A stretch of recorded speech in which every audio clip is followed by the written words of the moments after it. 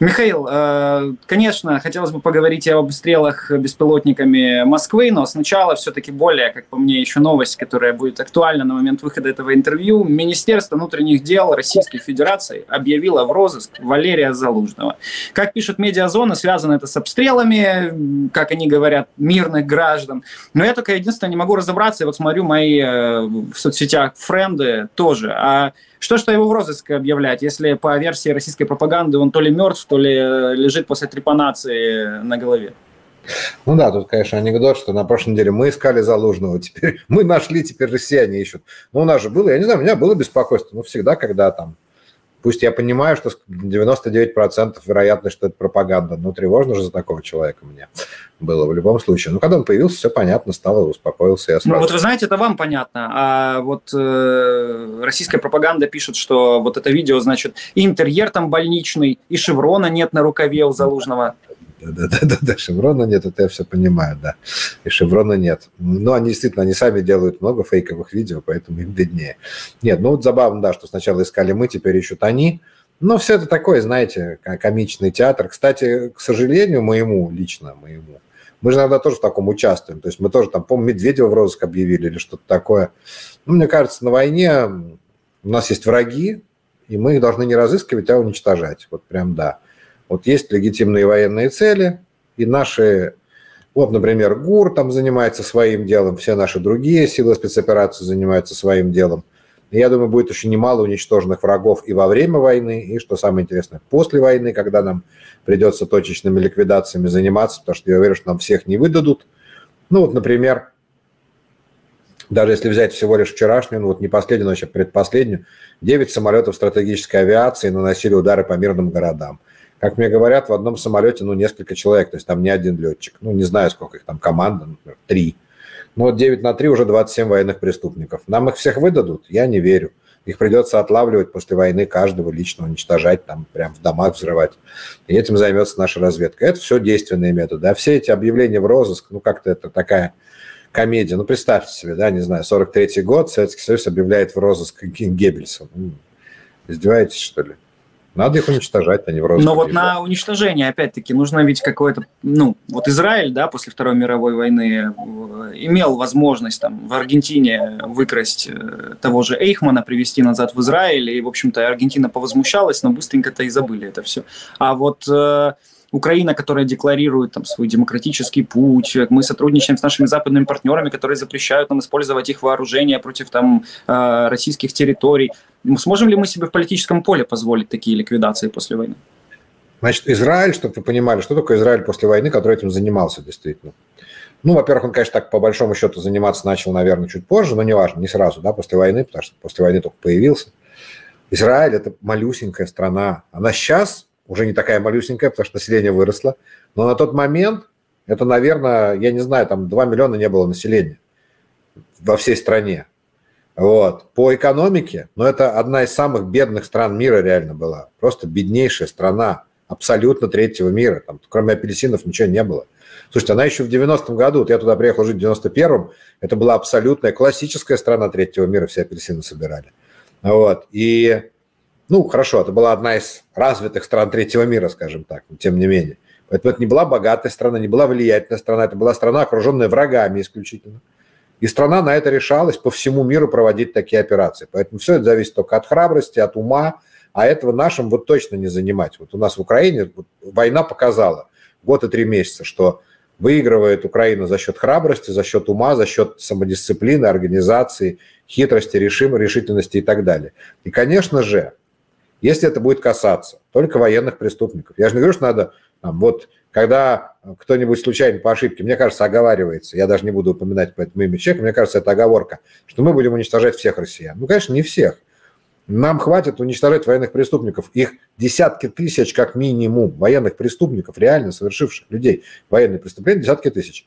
Либо Россия должна всех выдать, всех до единого, всех для суда, и тогда они останутся живы. Потому что смертную казнь нам никто, вот смертную казнь нам никто не позволит тут вводить в Европе, да? Вот. Но те, кого они не выдадут, те, конечно, их придется преследовать потом, как э, Израиль преследовал десятилетиями, понимаете, десятилетиями всех этих людей. Вот. Не всех удавалось, там, кого-то удавалось, кого-то не удавалось. так и здесь это будет десятилетиями. Но для этого есть одно условие. Надо, чтобы сохранилась Украина. Пока еще нет гарантий. Мы можем проиграть войну, и тогда не будет Украины. Нас же хотят уничтожить. Это же геноцид, правильно? Вот. Поэтому нужно, чтобы победить, то есть нужна Украина как государство, которое сможет всем этим заниматься. И тогда нет границы ненависти нашей, нет границы всему этому. Никакой Запад не будет ничего осуждать. Я не слышал от Запада осуждения именно когда Израиль убивал убийц, и при этом не гибли мирные граждане. Все, два условия. Друзья, кстати, историю израильской разведки, а также о самых громких операциях Масада можете посмотреть в интервью э, Григория Тамара. Найдите папку э, интервью Алексея Гомана на YouTube-канале Дмитрий Гордон в гостях у Гордона. И потрясающие истории, на самом деле, можно ближе ознакомиться. Вот, кстати, о главном управлении разведки сравнительно недавно прозвучало заявление представителя ГУРа э, Вадима Скибицкого для немецкого издания Welt, который сказал, что у нас, значит, являются Путин и Пригожин целями номер один для ликвидации. Если про Пригожина он сказал четко, что мы действительно действительно на него, ну, грубо говоря, там охотимся, это не прямая цитата, то про Путина потом представителям ГУРа пришлось оправдываться. Мы не считаем, что... Мы не собираемся его ликвидировать, он не номер один э, в списке на ликвидацию, мы, он номер один в списке на то, чтобы его взять каким-то образом и поместить на скамью подсудимых э, в суде в Гааге, например. А, но вот опять-таки, если мы, э, с другой стороны, да, вот, то есть наше управление разведки декларирует, что мы всех врагов нашей страны собираемся ликвидировать. Почему тогда давать вот эту попятную, и как вы считаете, какой сценарий более реалистичный, действительно ликвидация или увидеть Путина на скамье подсудимых в международном трибунале? Ну, во-первых, я говорю все время, когда я говорю про летие ликвидации, точечно, я все-таки говорю про время после войны. На войне цели так тщательно выбирать никто не будет. На войне просто вот есть э, один миллион э, российских военных, у них в армии один миллион человек, ну, примерно. Все они легитимные военные цели. Мне кажется, мы должны быть одинаково рады тому, что мы тех или тех там туда попали или сюда, где, в какой точке мира мы попали в российских военных, совершенно неважно, да, в Владивостоке, это в Москве или в Бердянске, какая разница, мы их уничтожили. Это военные. Дальше есть еще военные легитимные цели другие, то есть, например, там, вот я специально на эту тему почитал все, что связано с международным законодательством. То есть я не юрист, поэтому я не скажу, что я в этом разобрался, я просто почитал как любитель. Да? Вот есть нюансы, например, какого рода? Вот есть военный завод или там военный НИИ, Имеем ли мы право бить по военному НИИ? Да, имеем право. Во время войны сегодня вот в центр Москвы военные НИИ ударить имеем право, если не наносим излишнего ущерба гражданскому населению. Излишнего. То есть то, что рядом погибнут гражданские, не важно, но излишнего. Но, что забавно, ну как забавно, извините, но звучит тогда, но все-таки нюанс, нюанс называется. Вот если этот же директор этого же самого института научного, который разрабатывает ракеты, ночью пошел домой, мы его дома убивать не можем, если он не военный. Пока он на работе можем, вот ударить по офису можем, а дома не можем. А вот если это военный, совсем другое дело. Он всегда военный. Он военная цель, поэтому он находится дома, не дома, нам наплевать, мы имеем право его убивать. Когда он гражданский, только когда он работает на военном предприятии. Это нюансы. Так вот, самые главные нюансы есть с Путиным. У меня была на эту тему даже дискуссия недавно, вот как бы сцепился, ну, не важно, сейчас не буду упоминать с кем, не так важно. Но является он легитимной военной целью или нет? И мне показалось, что есть здесь двойственность. Опять, я не юрист. С одной стороны, это главнокомандующий российской армии, то есть военный. С другой, со второй дальше, с другой стороны, он посещал э, оккупированные территории в качестве оккупанта. В качестве оккупанта. Согласно Женевской конвенции, как только человек приехал на оккупированную территорию, у него может быть два статуса – комбатант и нон-комбатант. Если он в военной форме и видно, что он одел военную форму, то он комбатант – мы должны его стрелять в него, можем его убить, ранить. Если мы ранили, мы должны его взять в плен, например, и потом обменять. После войны обязаны освободить. Вот. Если он нон-комбатант, он, он подчиняется законам Украины в этот момент. То есть, вот Путин приехал не в форме на оккупированную территорию. То есть мы имеем право судить его по законам Украины. Он находился в Украине, совершая свои военные преступления или вообще преступления, неважно какие. Но есть другая сторона того же самого международного законодательства, которое говорит о дипломатической неприкосновенности определенных людей, в частности, распространяется это на президента. И вот у них дипломатическая неприкосновенность. Что применимо в этой ситуации? Что сильнее? Преступления, уже совершенные Путиным, или же э, его дипломатическая неприкосновенность? То есть он является комбатантом, которого мы можем убивать, или же у него дипломатическая неприкосновенность? Все, все, подчеркну, независимые мнения, которые я почитал в интернете, я читал не украинцев и не россиян специально, то есть абсолютно только третьи стороны и только юристов. Вот опиньоны юристов. Все склоняются к тому, что он легитимная военная цель. Я другого ни одного мнения не нашел. Но у меня нет вот официального заключения да, на эту тему. То, что что нашел, то и говорю. Поэтому вроде как он легитимная военная цель все-таки в силу того, что он страна-агрессор, признанная как бы он, и в силу того, что он является главнокомандующим этими войсками.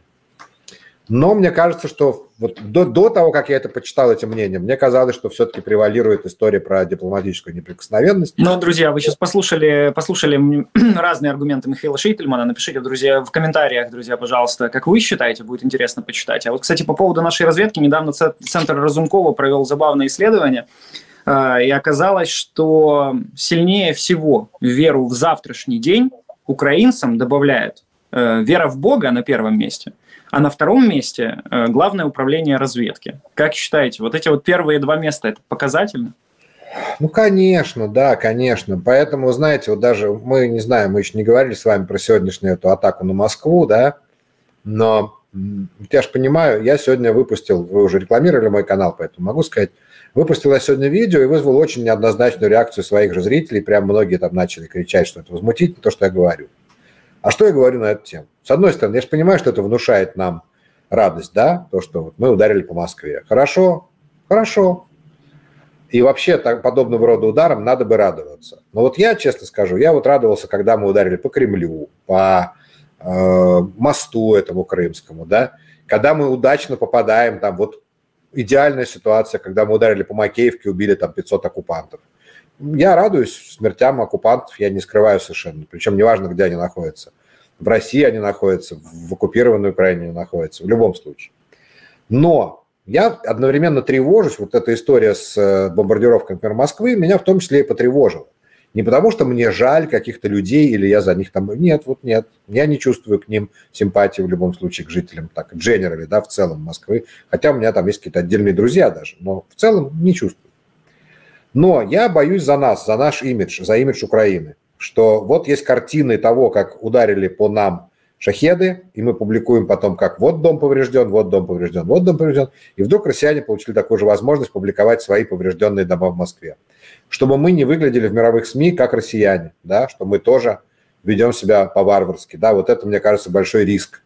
Поэтому вопрос, соизмеримо ли это с военной выгодой, вот этот удар – Тут важно. Михаил, вот смотрите, я тут должен привести слова министра обороны России, э, да, Шойгу. Он сегодня, комментируя вот этот обстрел, сказал, что беспилотники, которые летели как раз над городом, они были, э, их курс был, это цитата, ну, то есть э, их курс был изменен системами электронной борьбы, если что, если не ошибаюсь. То есть, когда мы говорим о прилетах вот сегодняшних дронов в жилые дома, то, грубо говоря, он сам как будто признался в том, что эти дроны могли иметь совсем другую цель. И то, что они туда прилетели, это уже последствия работы системы противовоздушной обороны. Ну да, после того, как он это сказал, то мы действительно больше ни за что не отвечаем, я с вами согласен. Я как бы про первое впечатление от того, что все-таки я все время переживаю за то, как мы выглядим в глазах мирового сообщества, потому что мы от него тотально зависим, надо понимать, да? Ну, в нашем вооружении, в нашей экономике мы сегодня тотально зависим от именно мнения западного, западного мира, мирового сообщества. Мы должны выглядеть просто вот чинно-благородно по сравнению с россиянами. Ну, нет у нас другого способа вести эту войну, кроме вот так. Да, они ведут варварскими методами, а мы должны обязывать цивилизованными. Еще раз повторю, знаете, у меня просто в комментариях, как вы можете во время войны такое говорить? Да, могу. Еще раз, мне приятно. Да, я ненавижу россиян. Да, мне хочется по ним наносить страшный удар. Мало ли, что мне эмоционально хочется. Я когда просыпаюсь по ночам, вы думаете, что я первое думаю? Да, от взрывов. Ну, конечно, я говорю... Я, я знаю, что вы говорите, потому что да. я говорю то же самое. Да, я и, и слово «россияне». У меня все время вот слово, там приличное слово одно «россияне», все остальные слова неприличные у меня, всегда, всегда. Но при этом мы обязаны сохранять холодный рассудок, чтобы победить в этой войне. Вот просто обязаны. А, и я, знаете, у меня, наверное, даже больше вот некоторые реакции. Вот я читаю потом Facebook. И реакция людей. Вот наконец-то россияне поймут, как мы тут живем. Да не надо мне, чтобы они что-то поняли. Вот не надо вообще, они ничего не поймут. С чего вы взяли? Мы что, воюем с людьми, которые что-то поймут? Те, кто хотел и мог понять, они все без этого поняли. От того, что мы там что-то ударим, мы их перевоспитывать собрались этими ударами. Вот это меня, понимаете, даже больше эта реакция такая, да? Мы их перевоспитывать. Вот мне кажется, главное это хладнокровно уничтожать их. Хладнокровно уничтожать всех, кто за это отвечает, а не эмоционально как-то пытаться от них добиться того, чтобы они там страдали. Вот когда вы убиваете клопа, вы не добиваетесь, чтобы он страдал. Вам досаждают клопы. Вы не испытываете к ним ненависти, вы их уничтожаете, но не пытаетесь сделать так, чтобы они страдали. Не отрываете им лапки там и не говорите, ну что, Клоп, сейчас ты поймешь, что такое, когда тебя вот так вот, да? Нет, вы его просто уничтожаете. Вот мы должны быть хладнокровными убийцами э, в этой войне, а не какими-то эмоциональными заряженными такими истериками. Извините. Абсолютно. Для э, сотрудников YouTube, которым обязательно нажалуются на это видео, я уже предвкушаю, мы еще раз декларируем, что мы не призываем к убийству мирных граждан, мы лишь говорим об оккупантах, которые пришли на украинскую землю.